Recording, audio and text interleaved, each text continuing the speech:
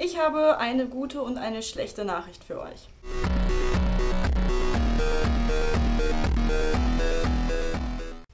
Ich fange auch gleich mal mit der schlechten an, dann haben wir es hinter uns. Und zwar hatte ich eine kurze, aber heftige Liaison. Und gerade befinden wir uns in der Trennungsphase. Freitag schmeiße ich sie dann endgültig vor die Tür. Und zwar meine Weisheitszähne. Autsch. Tja, das hat eigentlich nicht wirklich was mit euch zu tun, aber das bedeutet, dass ich nach der Operation erstmal keine Videos machen kann. Im schlimmsten Falle sehe ich nämlich aus, als wäre ich vor einen Lastwagen gelaufen und da möchte ich mich ungern vor die Kamera stellen. Das heißt, diesen Sonntag und den Mittwoch gibt es auf jeden Fall kein Video von mir. Den Sonntag darauf versuche ich wieder eins zu machen, aber je nachdem, wie schlimm ich aussehe, weiß ich nicht, ob das bis dahin alles wieder verheilt ist.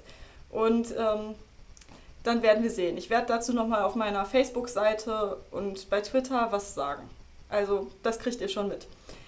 Ja, so viel also zu meiner schlechten Nachricht. Ich komme jetzt auch gleich deswegen mal zur guten.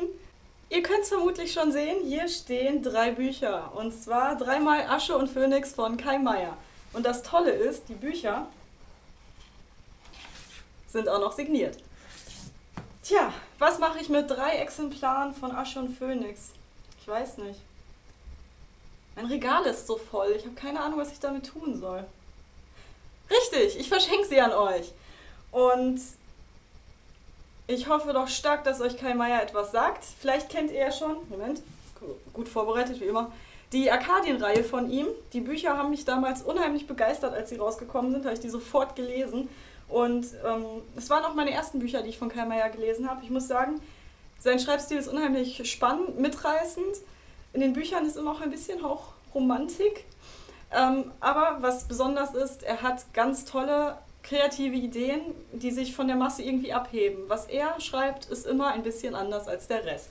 Und deshalb habe ich mich auch so unheimlich auf Asche und Phönix gefreut, sein neues Buch, was jetzt gestern erschienen ist.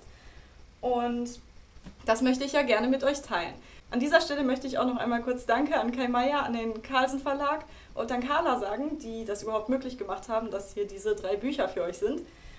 Deshalb erzähle ich euch einmal kurz etwas zu dem Buch, falls ihr noch nicht davon gehört habt. Es geht hier um Asche und Phönix. Das sind zwei Leute. Und zwar Ash ist ein Mädchen, die ja wie eine Unsichtbare in der Gesellschaft lebt. Sie versteckt sich eher, sie hat Angst, mittelmäßig zu sein und irgendwie unterzugehen. Und deshalb führt sie ein zurückgezogenes Leben. Und ganz anders ist da Phoenix, der eigentlich Parker heißt.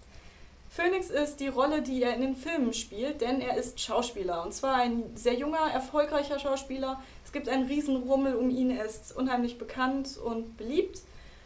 Und irgendwie nervt ihn das schon alles. Dieser ganze Rummel um seine Persönlichkeit, das findet er nicht besonders toll.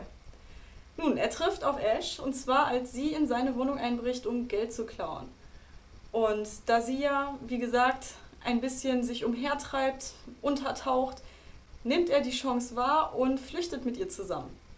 Die beiden verschlägt es an die Côte d'Azur, an Frankreichs Küste.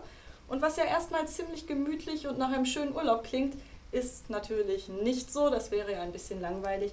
Denn die beiden werden von einer mysteriösen Macht verfolgt und werden ganz schnell zu Gejagten. So viel also zu einem gemütlichen Urlaub an der Côte d'Azur. Ihr seht, die Bücher klingen schon jetzt ziemlich spannend. Ich bin auch, ich habe es noch nicht gelesen, sehr gespannt drauf. Ich freue mich schon richtig drauf.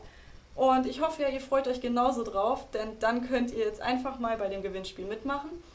Die Bedingungen stehen wie immer unten in der Infobox, genauso wie noch nähere Informationen zum Buch. Und ansonsten könnt ihr einfach einen Kommentar unter dieses Video oder auf meinem Blog, wo es noch einen Eintrag dazu geben wird, hinterlassen. Ich sag mal, bis zum 6. Dezember, also bis zum Nikolaustag, habt ihr Zeit.